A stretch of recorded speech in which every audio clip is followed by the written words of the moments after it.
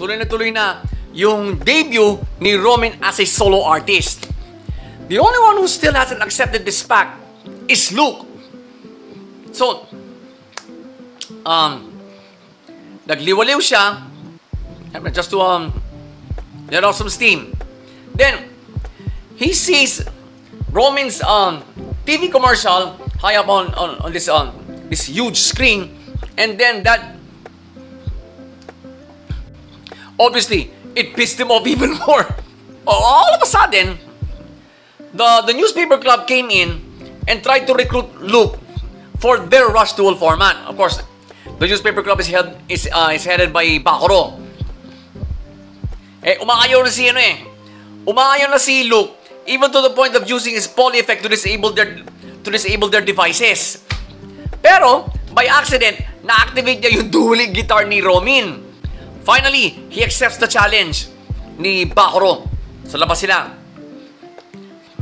Eventually, nilampaso niya si Bakuro.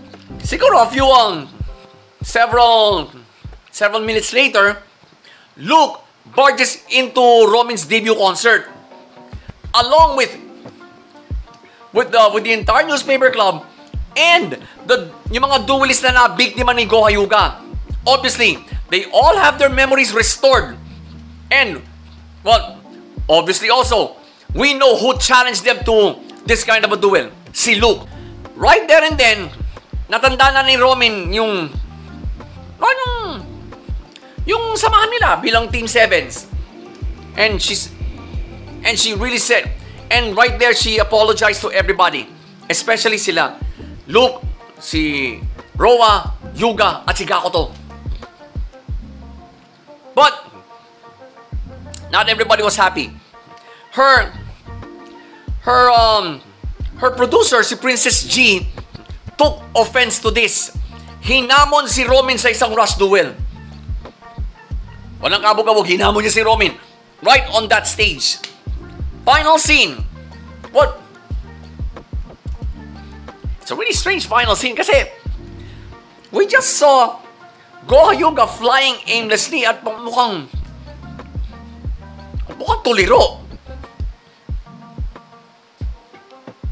This is not the Goha Yuga we're, we are we were all used to. Yung itsura niya. I find it weird. Alright? Uh, mga ka-lifestyle. I really find it weird. Despite that weirdness, we're gonna break that episode down right now. Critic Sub style. Pace! I don't know ha, pero yung yung tense pacing ng duel scene na carry over na to the rest of the episode. Kasi Luke had so much energy coming into this duel. Eh, ikaw niya, siguro, siguro ikaw niya. Well, I've restored, I've restored the newspaper club's memories. I might as well, might as well go at it. I might as well go with um Yoshiro, with uh with Nick, and uh yeah, even the foodie duelist. Okay, sige, hamunin na natin.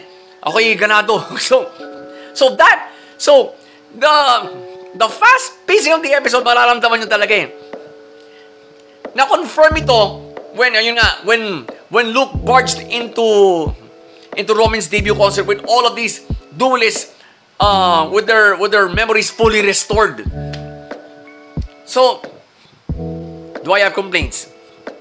Absolutely not. And considering na matatapos na ang sevens, so medyo forgivable naman yung pag-express sila ng storya. I'm telling you right now, mga ka-lifestyle, Luke is the biggest hero of this episode. Because of him, Team 7 is now complete. Flow naman. Medyo magkakadikit ang mga, ang tatlo eh. Tatlo, tatlo nakita kong gearship dito. Medyo magkakadikit sila eh. The first one was was when Luke accepted Bakuro's challenge. The biggest thing this gearship will tell you is this. Luke's win streak is still intact. And, considering na meron pa siya mga tinalong ibang duelists after this, lalong humaba ang win streak ng Mokong. If this doesn't convince you that Luke is the only undefeated character here in Sevens, I don't know what will. Second gear shift was when, ayun nga, Luke and company, they, um, they suddenly barge into uh, Roman's debut concert to to uh, to at least jog her memories. Pero why did I call it a gear shift? Kasi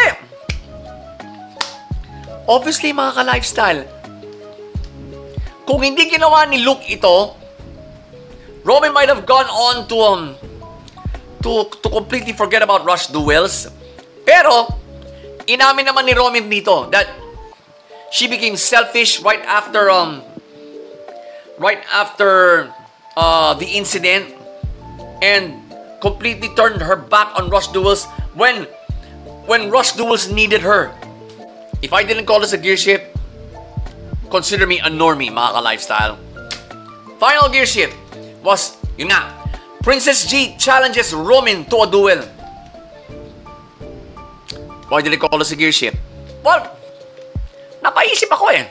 Bakit hahamunin ni Princess G si Roman at such a time?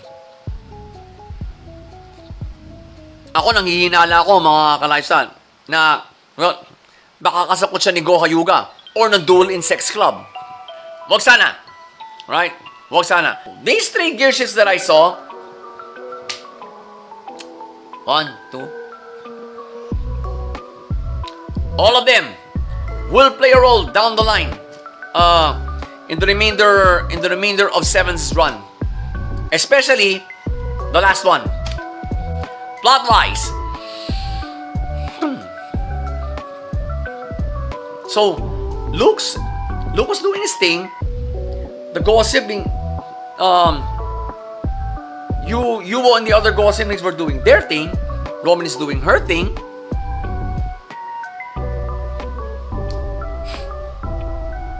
Pero di nakakalito guys. So that means, planchado ang plot. Di ko masasabi malinis kasi it doesn't follow um it doesn't follow a, a single continuity. It follows multiple continuities happening at the same time.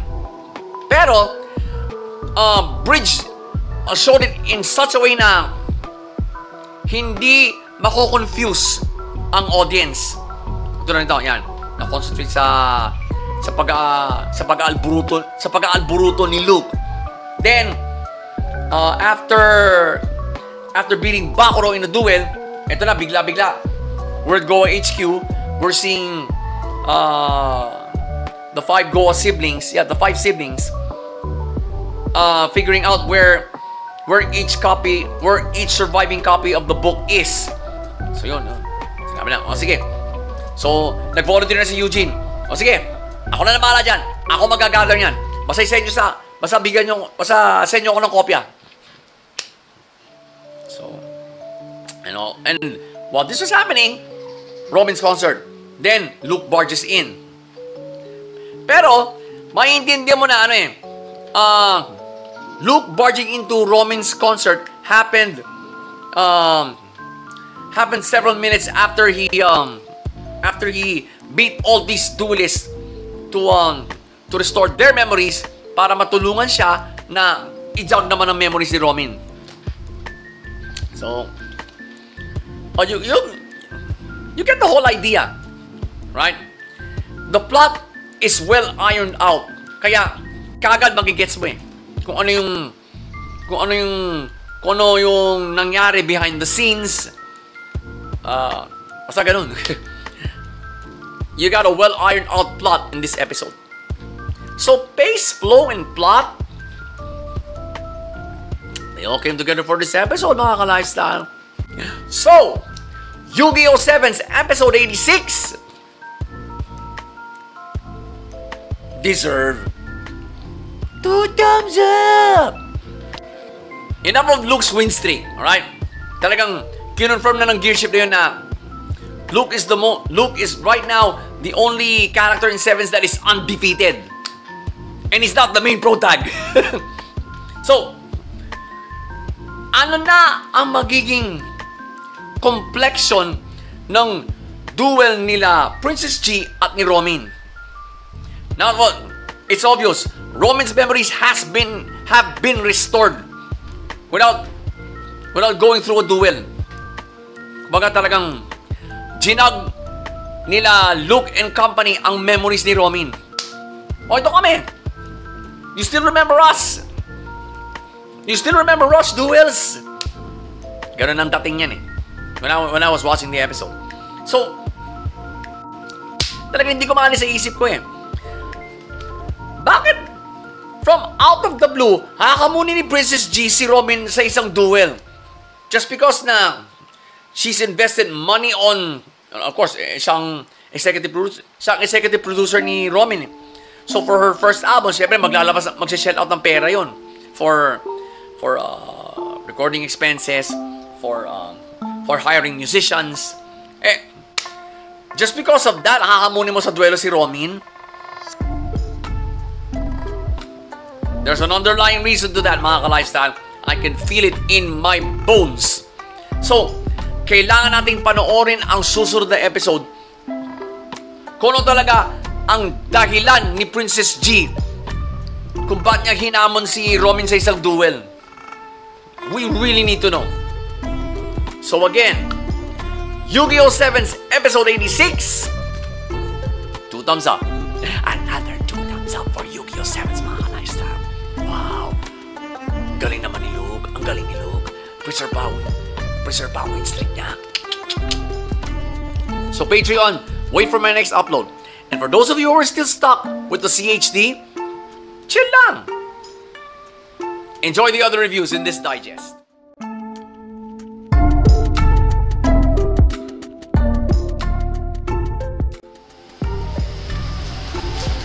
Two-part story to mga ka-lifestyle. Okay?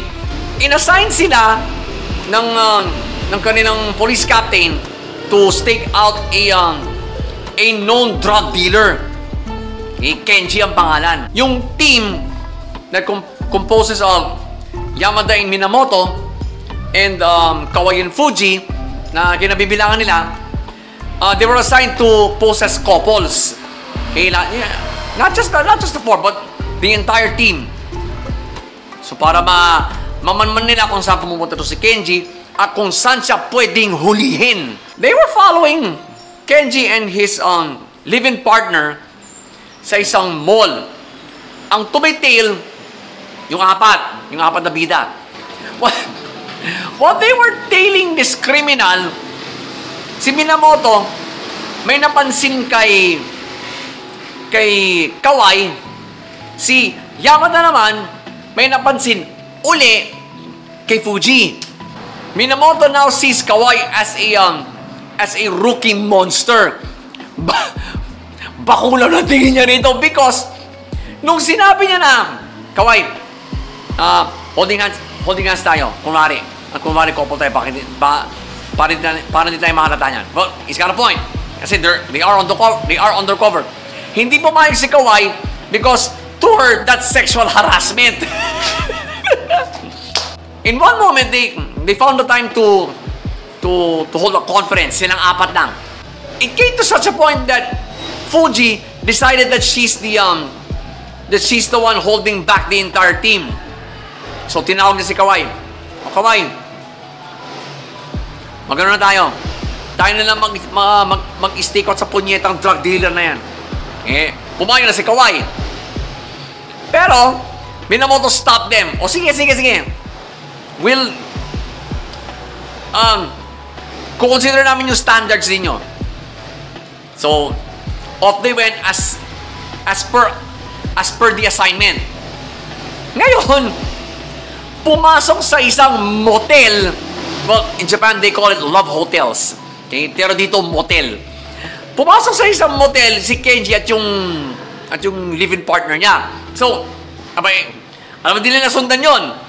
So, sinundan, sinundan nila pareho, both, both pairs. So, they, nag-alkala sila ng tig isang kwarto. In such a way na, maririnig nila kung ano ang ginagawa ng, ng mag-partner dun sa loob ng kwarto nila. Sa side nila, nila Fuji at Yamada, dinig na dinig. Pero sa side naman nila Minamoto at Kawai, hindi. So, eh sinabi nila ni Minamoto through cellphone na, Nako, uh, we're, we're counting on you.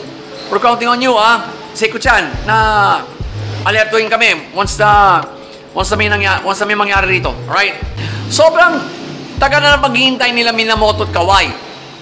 All of a sudden, the lieutenant, the lieutenant called, called him by phone. Sinabi na, o Minamoto, Kawai, labas na kayo dyan. Tapos na. Nahuli na yung suspect. Sila, uh, Yamada and Fuji found a way to, um, just to, just to tell them to come, uh, just to tell them to come with us. so, in the rivalry between Fuji and Minamoto, this doesn't work well for Minamoto. Bakit? Kasi, not only his his standing against Fuji is on the line, but also his job. Then, a call from the captain came to Minamoto. Eh, bigla na, sinabi na lang ni, ni, ni, Yam, ni Yamada, It's been a pleasure working with you, sir. Nagpapaalam na. Baka nga naman si Sandy eh. Hindi nila, hindi nila mapakanta si Kenji. Yung nahuling, yung nahuling drug dealer. Kahit yung, kahit yung live-in partner, hindi rin nagsasalita. So, they brought in Minamoto and Kawai to, to talk to, talk to the late, to talk to the, to the live-in partner. Nagtataka si Kawai kung bakit um, ang mga tinatanong ni Minamoto eh, eh, kumusta naman yung, naman yung, ah, yung anak ninyo sa school? Eh, is he, is he doing well? Nagtataka tuloy ngayon si Kawai kung bakit ganun ang line of questioning ni Minamoto. But they have until, um, they got seven days, actually, to, um, to get the living partner's confession. Either, either one of them. Now, on March 8, the final day of of cops um of cops holding these two. What? Sinabi na lang ni Minamoto na, just promise me one thing, ma'am. Be a good um be good to be good to both your mother and son after this. So, tumayo. Then, bigyan na ng sinabi ng babae na there's a man named Buske who's handling all her um, all her partner's deals. Please bring him in. Ooh! Finally, kumanta! Minamoto's tactics worked. Final scene. Nung gabing, nung gabing pauwi na silang lahat, Kawai apologized to um to Minamoto for stepping out of line kasi meron siyang binigla niya kasi ng tanong sa living partner na, uh, what do you know about this case? Eh, syempre, pipigilan siya ni Minamoto. Minamoto's the head detective here. The head interrogate head interrogator. Eh, sinabi na lang ni ni Minamoto, it's okay. Pero, um, proverbially, he said, not, um, not every criminal, not, no, not every criminal is evil at heart. We're gonna break this episode down now, Critic Substat. Total, two-part story ito. Pace! There wasn't any tense pacing actually. Pero, um, slow but excruciatingly funny. Nakakatawa dating. Alright? At lalong-lalo na, yung, uh, the way Minamoto now sees Kawai because of this episode. Do I have complaints? Absolutely not, mga ka-lifestyle. I absolutely love the pacing, the overall pacing on this episode, knowing it's a two-part story. So, kaya, hindi magkaiba ang pacing eh. Talagang slow and funny ang pacing. Right? And of course, in the end, we we get to learn a life lesson. Kaya, no complaints pagdating sa pacing. Plot-wise, plot-wise. Flow naman. Sorry. First gear shift was when Kenji decided to what? To take his take his living partner to a motel and we maybe yeah, and get uh, get busy over there. The gear shift that set off uh, a chain of events that led to his arrest. And the eventual um uh the eventual career check right? The eventual career assessment Minamoto did on himself. Tandaan nyo in the last episode yup their captains their um their lieutenant said that all of them are fired mabuti naman binigyan sila ng konsiderasyon dito. So wow uh, they should not screw this up. Uh, it's the gear shift that would make you think you should not screw this up guys. Kundi talaga masisisati kayo. So final gear shift was when Kawai suddenly popped the question to uh, to the living partner na ano ba nalaman niyo sa kasong to? And Minamoto stopped her right there no brainer of a gear shift folks. Just goes to show you that um that well Minamoto despite the goofy the goofy cop that he is he's still um the station's best interrogator. Talagang magaling siya mag-line of questioning.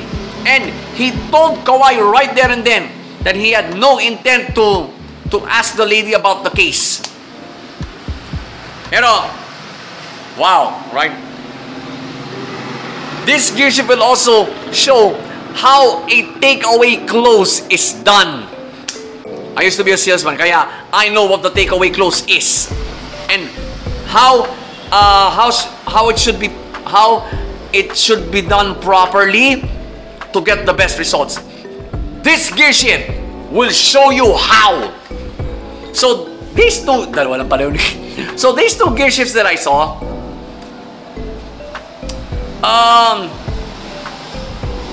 the the last one may not uh, may not have uh, may not play a role in the next few episodes but certainly here well, we learned a big lesson here all of us uh, all of us who were able to see this episode plot lies wala eh talagang iisang continuity lang ang nakita ko rito mga ka-lifestyle So, malinis ang plot. Did I say more? So, pace, flow, and plot, they all, they all came together for this episode, folks. So, Police in a Pod, episode 7.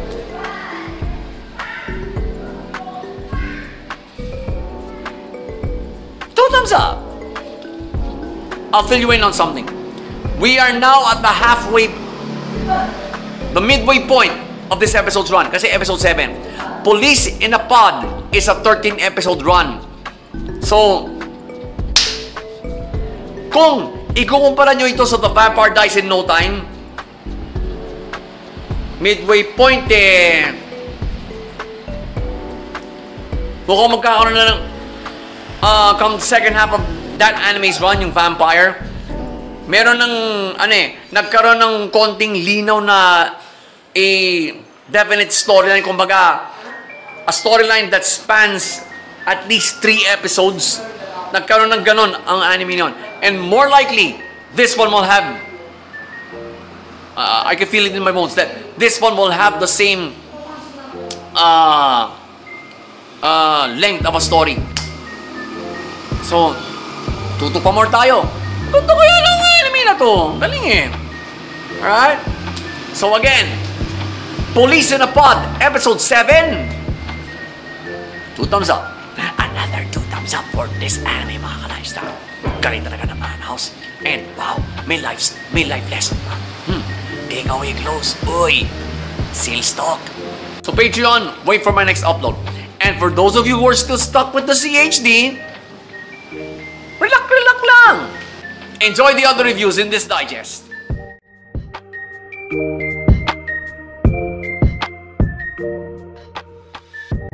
Ito po ang tunay na review for episode 6, alright? Not the previous one. That was for episode 5, folks. We're on the cruise. Well, nagparamdam na si Rihanna. In his usual, um, his usual, uh, his usual stalker ways.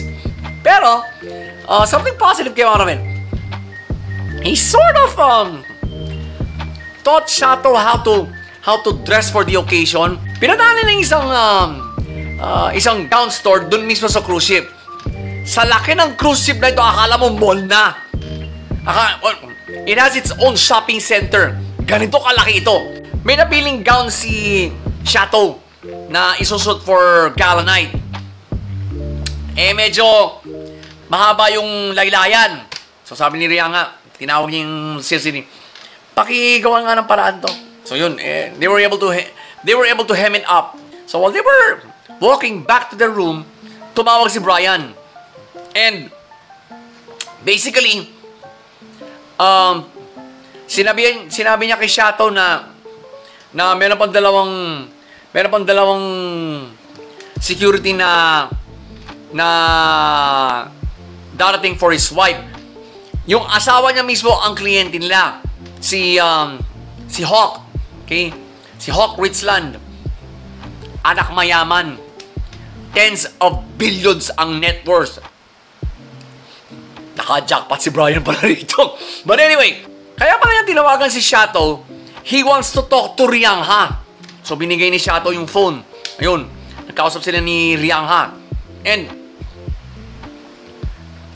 when he when he mentioned the name Shato Noble to Riang Ha, biglang lumaki ang mata ni Riang Ha. And, well, sinabi na lang ni Brian na maybe we can meet, maybe we can um, we can um, we can talk we can talk this over. Eh what? Natural, pumayag si Riang ha. Pero on on the night of their meet up, all of a sudden may lumapit kay Brian, may panaksak. Yung paglingon niya ganun. Um, that sequence stopped.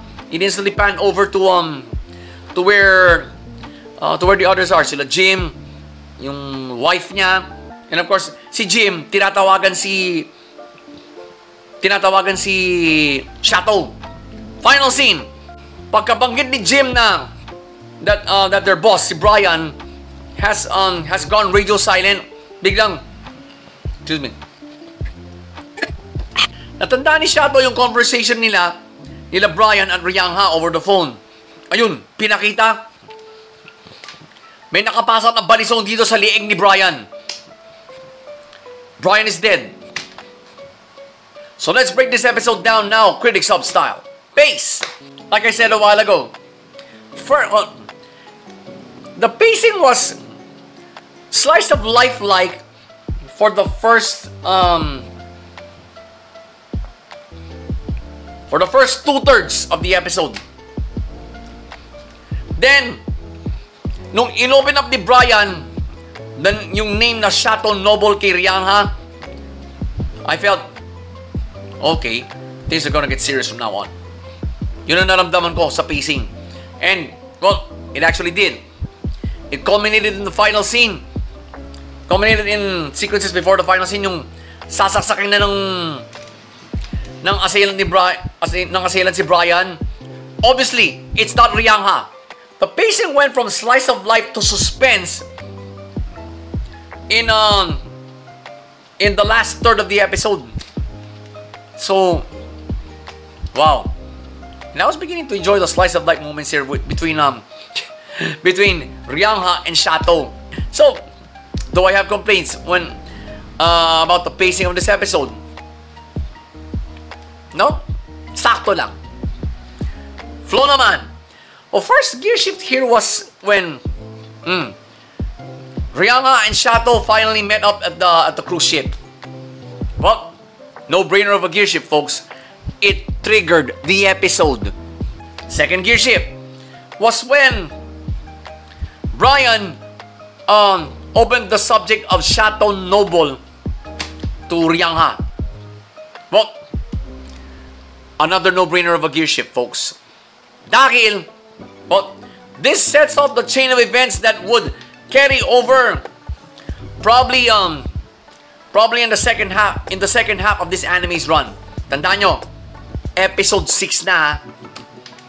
Episode 6 na to. So, na nakanakati na tayo for the first half of this anime's run. Final gear shift was of course the final scene. It confirms the second gear shift. Um, pero, you can't erase the fact that, well, iisipin mo bilang film, naku po, sigurado ang unang, ang unang pagbibintangan ni Shato dito si Riangha. Kasi, Riangha is scheduled to to meet up with Brian that night. Kasi magka, kasi magkikwentuhan sila regarding well, regarding Shato's past. And it looks like Rianga has uh, an inkling of what Shato's past looked like. Kaya, siguro may suspicion nga si Brian uh, when it comes to that aspect. Gulo ang ang ibubungo ng gear shift na to. That's why I call it a gear shift. So, these three gear shifts that I saw, folks, the last two, if, if either the last two don't play a role in the next episode, more likely, for the entire second half of this anime's run, we can go back to this episode, particularly these, particularly these two gear shifts. Plot-wise, hmm,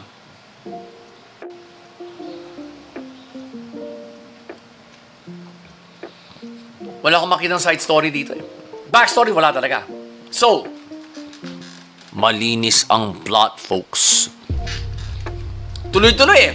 Because, we were only following one continuity here. Yung nga yung sa cruise ship. Lalad yung, yung mga, yung mga romantic moments nila Riang at Shato. Especially nung uh, they were shopping for Shato's gown na isusot on uh, that night sa gala. So, wow. Right? For, for a crime thriller, this one had a really clean plot. This particular episode lang ha, it had a really clean plot. Shut up na ako. so, pace, flow, and plot, they all came together for this episode, folks. So, Love of Kill, episode 6, the real one. Mm. Two thumbs up. Bakit? The last two gear shifts are extremely crucial ones. Kasi, well, a murder just took place. Alright? The triggering events are in the second gear shift. Siyempre, ang unang pagsususpetsahan dyan, si Riangha. Because Shadow was there when Brian, um, when Brian talked to Riangha over the phone, saying na gusto niya makipagkita dito. And, wow, right? I don't envy Rihanga's position right now with Shato. So, unti-unti na ngang lumalagay na ang loob ni, ni Shato sa kanya eh. And this happens. Someone wants to frame him. Yeah, someone someone wants both him and Shato dead actually. And siguro step one lang ito sa kanya. So, whew, it's going to be a rough road ahead for Riangha.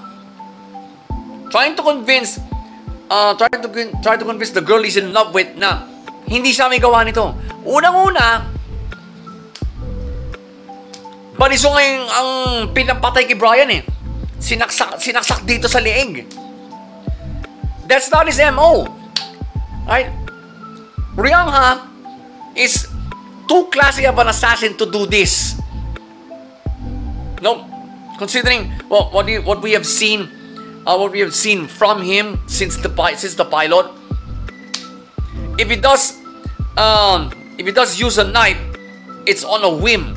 Pero most of the time, he's got a gun. He's got a gun up top somewhere in his body. So,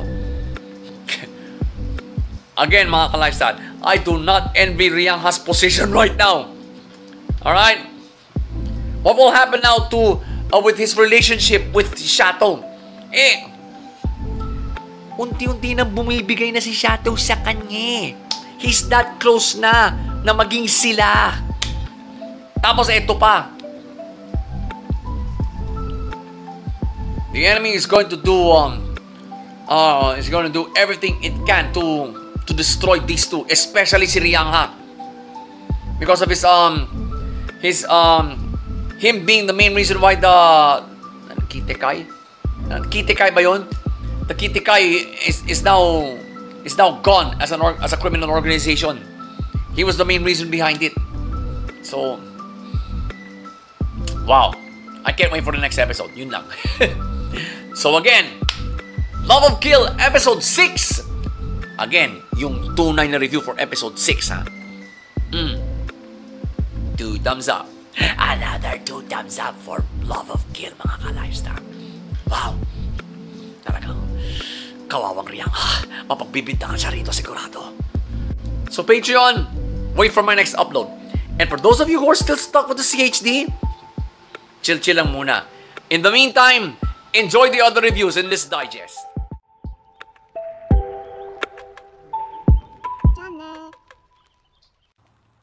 We pick up where we left off. May tumumba kay Goku and Sanzo has a pretty good idea. Who?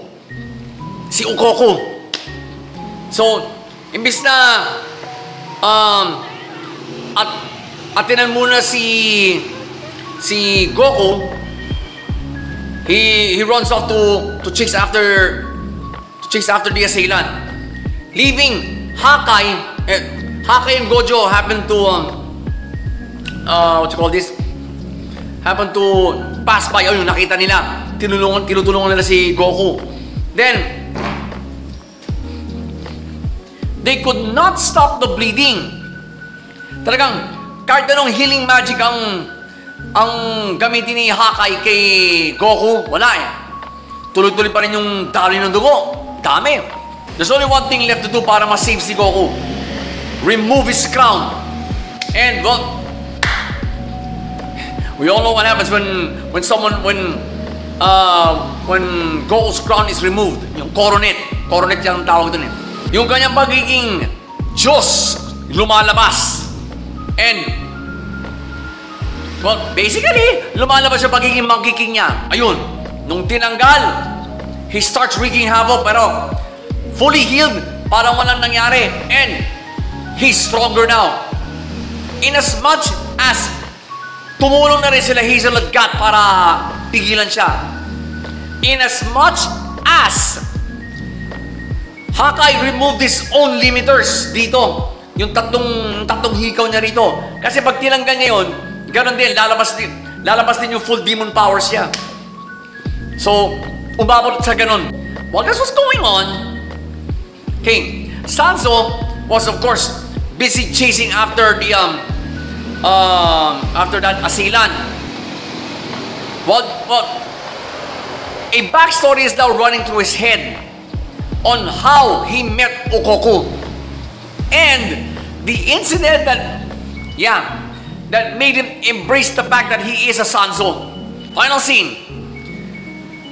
Um, he decides to go back to to where to where he left Goku kasi naramdaman niya na parang nako, mukhang mukhang pinakawalan yung power ni Goku ah. So ta so tapos sa pabalik. But he just um he just found Gojo picking up both Hakai and Goku. And all Gojo said to um, to Sanzo was, I'm busy right now. I can't punch you in the face right now. For your benefit, we're gonna break this episode down now, Critic South style. Base! Alam nyo, kahit nagkaroon ng backstory sequence, hindi nawala yung tense spacing eh. Because the action was so intense mula nung uh, yeah, opening scene yung where when we, we picked up where we left off nung nung tinumpa si Goku. It was tense all throughout eh. And, well, the backstory sequence didn't do, didn't, didn't do anything much to appease it. But am I complaining? No! Hell no! It was a really tense pacing, but I'm totally satisfied, right? Because the act, because it fueled the action sequences here. Flow naman. First gear shift here was when Hakai and Gojo decided to take off to take off Goku's coronet just to save his life. Well, it's a no-brainer of a gear shift, folks. It triggered the episode. Second gear shift was when um, Sanso's backstory started. Now, why did I call this a gear shift? Despite what's going on, the episode filled us in on how on how Sanzo developed this kind of a mindset. Kasi, oh, by the looks of it, that sa backstory sequence na yun, um, history just repeated itself. Final gear shift was when, ayun nga, the final scene.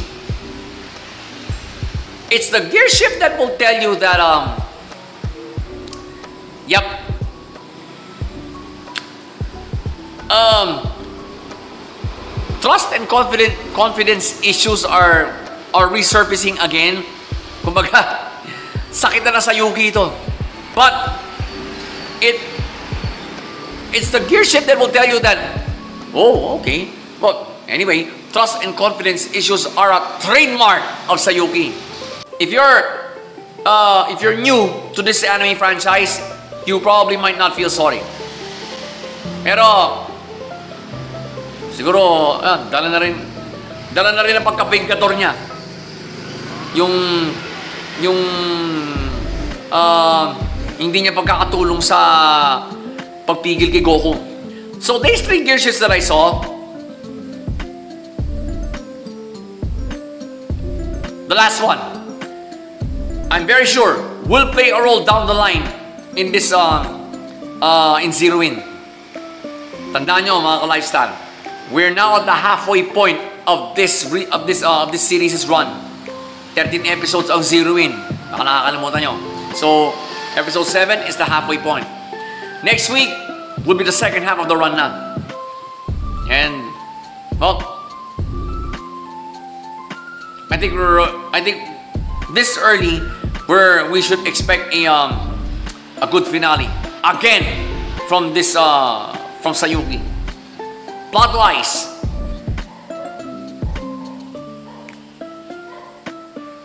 you can't say it's a clean plot, but a well ironed out one. Planchado. Kaya, um, the only complaint I have with the um, with the backstory sequence is sana inikyan nila ng kahit konti.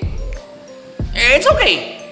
Because this backstory sequence uh, tells us as to how Sanzo developed this kind of mindset. Na dapat uh, dapat huntingin kagad yung tumumba para malaman kung well, so we can get some information. And if he, if he doesn't if he doesn't talk I can just shoot him in the head. Vengeance is complete. So um it's a decently ironed out plot to tell you frankly a decently ironed out plot kasi I've seen these kinds of episodes before. Pero, hindi, um, this episode's plot is not enough to disappoint me. Because, well, the action sequences make up, make up for it. And, Gojo, Hakai, Hazel, and Gat, they they were, they were trying their very best to, um, just to simply restrain Goku. Put, to try to put that crown back on his head. So, eh tapos wala pa si Sanzo dun. Eh, according to the legend of Sayuki, the actual legend, uh, Sanzo is the is the guardian of Goku here on Earth. Siya ang inassign ni Buddha na magbantay sa Monkey King uh, on, the, on this journey. Attend to his needs. And of course, um, be familiar with his weaknesses. So, uh, it's a good thing I know about, uh, I know a thing or two about Oriental mythology. Kaya alam na alam ko sa iyo, alam na alam ko ang takbo ng anime na to. But, of course, may variations from the different studios, especially this one. It's done by Lightning Films, okay? The same guys behind Tokyo Revengers and uh, Build Divide Cold Black. And of course, Killing Bites, uh, personal favorite. So, it's a decently ironed out plot, but not bad enough to disappoint me. So, pace, flow, and plot They all came together for this episode. For this episode. Pweh! This episode, folks. So, Sayugi Reload Zero In, Episode 7.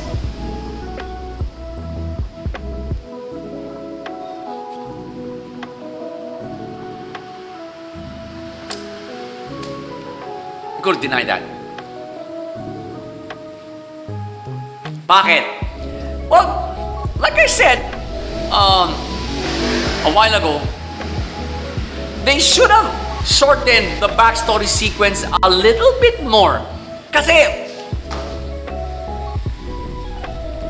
as, as it is, if someone new to anime watched this episode, baka mawalan siya ng gana.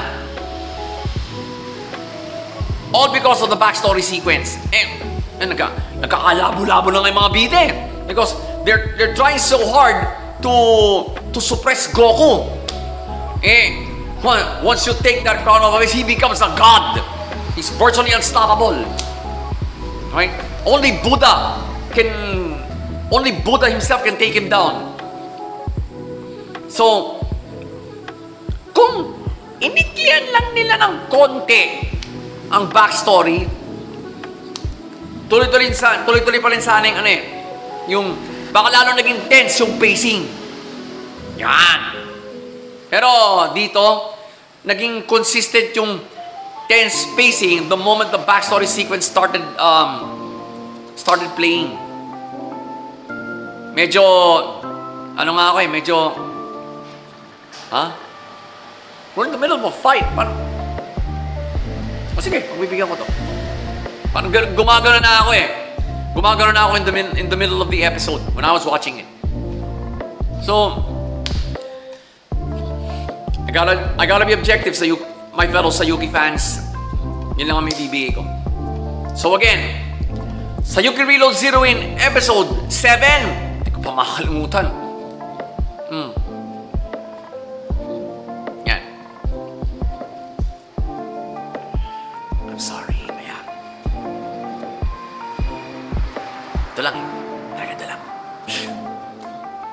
So Patreon, wait for my next upload, especially with regards to this anime. To all, to all, to all of you who are still stuck with the CHD, I strongly suggest you follow what uh, what the finger is uh, to where this to where that finger is pointing. All right. But in the meantime, enjoy the other reviews in this digest.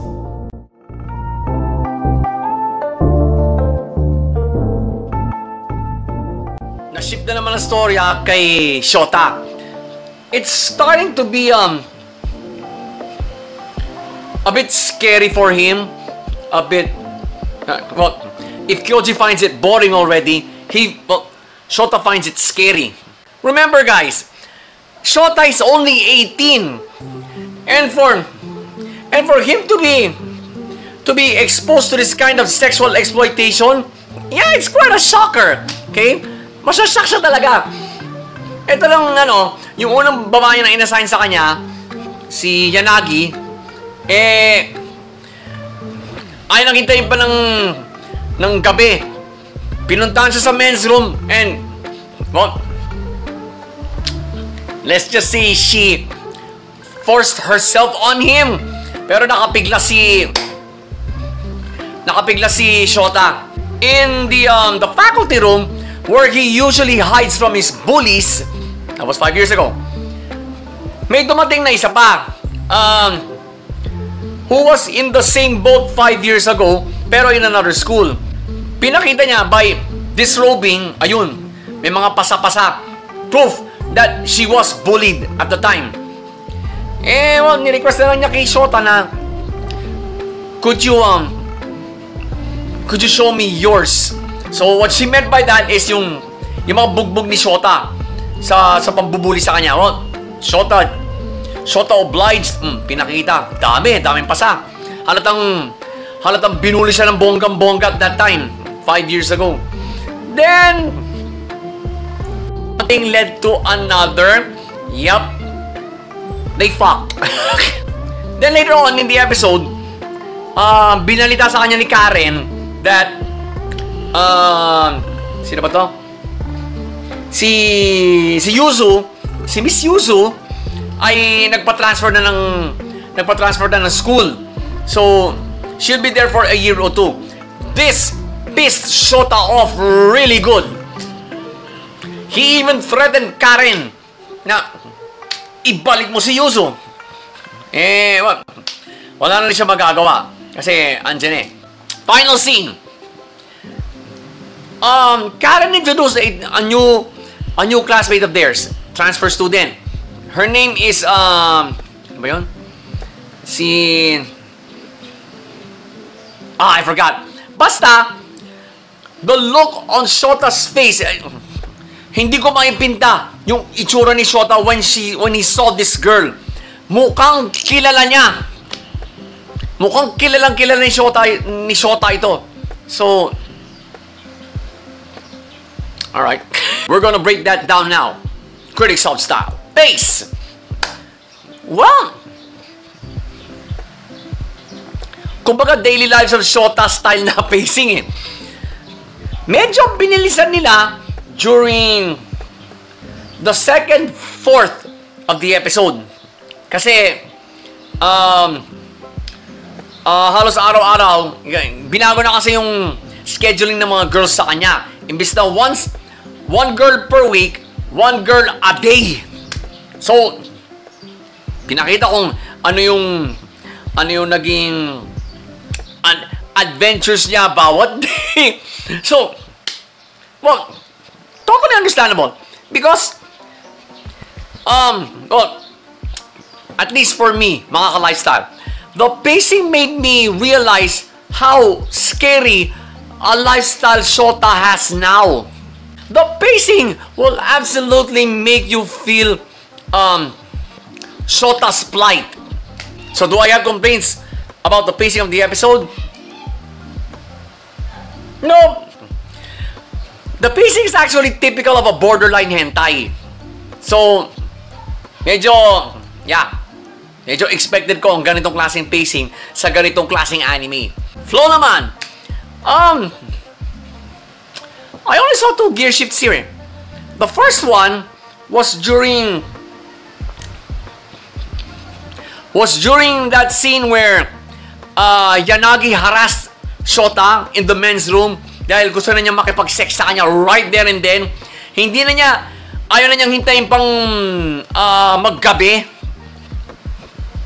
Why did I call it a gear shift? Well, you could see it right there in that scene na nagkaroon bigla ng recall si Shota sa mga bullying moments niya noon 5 years ago. Na dadalhin siya ng mga bully niya sa men's room, doon bubugbugin, doon doon duduran sa mukha, um, doon um, doon sa verbal assault, talagang bullying in every sense of the word. So, uh, when that moment came, talagang nag-flashback sa kanyang lahat yun.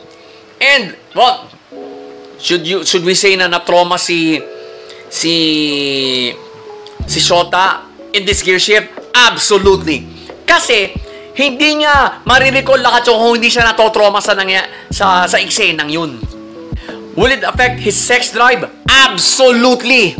Final gear shift was when he received the news from Karen that Yuzo has transferred. Wala na siya sa wala na siya sa Kmount City. Kinabibilangan, kinabibilangan ng ng, ah, ng tatlong males, including Rito. Why did I call this a gear shift? Well,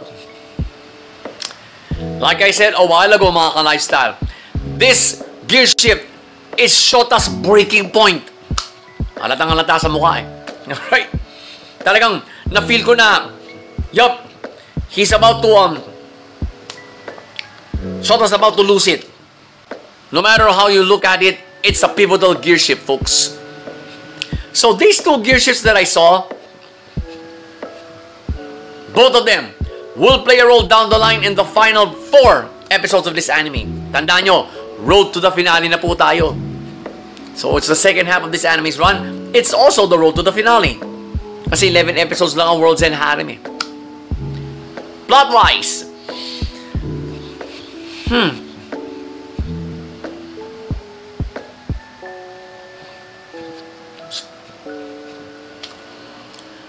planchado, mga ka-lifestyle. Bakit? Because I love the way they I love the I love the timing of the backstory sequences here.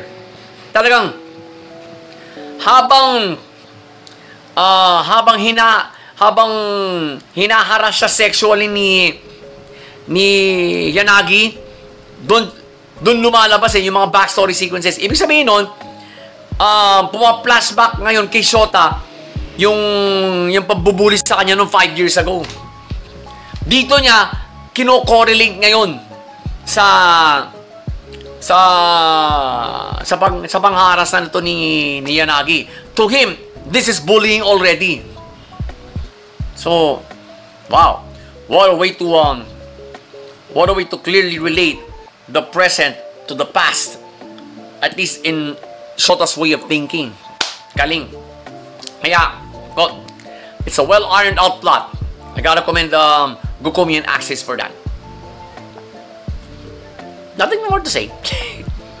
so, pace, flow, and plot, they all came together for this episode, folks. So, World's End Harem, Episode 7! Na mag-isip? Mm. Two thumbs up. Pag-usapan natin ngayon yung ano, yung... Uh, yung magiging repercussions ng ng final two scenes ng episode na to. And it and it all concerns Shota. Una sa lahat, okay, his, um, well, yan, nagkakaintindi na sila ni Yuso. His girlfriend has moved away from Kamon City and she'll be there and she'll be there for two years at the most kung saan man siya landon. What? Natural. Mangungulila yung, mangungulila yung bata. Eh, the kid's going to miss him. The kid's going to miss her. Eh, oh, sana first time ni Showtime. And, um, when all of this happened, well, they got that, hindi, hindi na rin Emi matatawag eh. Mukhang sila na nga eh. Okay? Because they, they, for, in the previous um, episodes, talagang they've been together. So, pangalawa, sino itong bagong classmate nila Sota at Karen na mukhang kilalang kilala ni Sota? It's like someone someone from his past jumped out into the present. Sino kaya ito? Really wanna know. Talaga ako, na-curious ako kasi the look on Shota's face talagang mukhang takot pa eh. You could see the fear in his face. Mukhang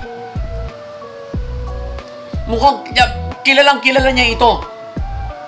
So, I can't wait for the next episode, folks, because of that final scene. Right? So, mga ka-lifestyle, tutok pa more tayo. Bec- Because, we're now down to just the final four episodes of World's End Harem. Kaya, tutukan nyo na rin. So again, World's End Harem Episode 7, two thumbs up. Another two thumbs up for World's End Harem, mga ka-lifestyle. Kawawa naman si Shota. Ibalik yun na si Yuso. Come on. You, you gotta keep his sanity intact just to keep him going at this. So Patreon, wait for my next upload. And for those of you who are still stuck with the CHD, you know what to do when it comes to uh, when it comes to this when it comes to that finger pointing up. Yep, that same finger. Until then, enjoy the other reviews in this digest.